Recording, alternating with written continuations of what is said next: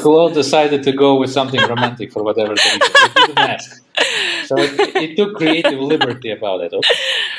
And I didn't expect to use this a lot for work, but I found in the end that for whatever the reason, this works better for me.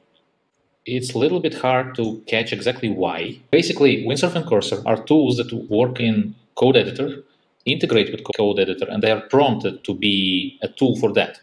And this influences whatever you do with them, which means that they always will try to solve problems by using the tools available for them, the code editor. While Claude, in that sense, like not opinionated like this, and weirdly, it results in it working even in code working better for me with Desktop Commander. So in my case, I ended up actually canceling my subscription to Windsurf and using this. Yeah, this is Claude, a chat interface with AI that can well, write texts. And recently, in like last quarter of last year, they added ability to add tools to it. And Desktop Commander is this kind of thing that you can install with one line of code, and we will share links and descriptions and comments.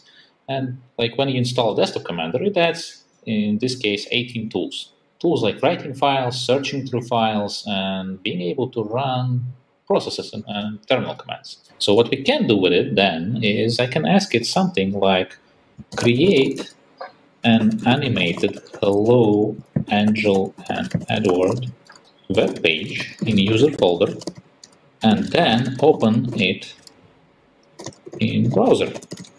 Let's see what's going to happen if we ask uh, Claude with desktop commander something like this.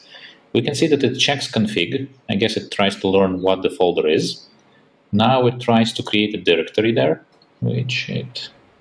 Can I ask a question about? Um, yeah. Can I ask a question about how uh, safe this is? Like, and which folder? Like you mentioned over here, the first uh, prompt you put is create an animated hello web page in user folder. Is the user folder usually what's recommended to put put the project in? So honestly it doesn't really matter. Most people have like documents or uh, something like any kind of folder. Usually claude will stick to a folder you give it. So you just probably have some kind of work folder or documents folder where you prefer to work. You ask it to create a directory for whatever project you have and you do something. And this, for whatever this is really reason, funny. Claude decided to go with something romantic for whatever the reason. It didn't ask. So it, it took creative liberty about it okay?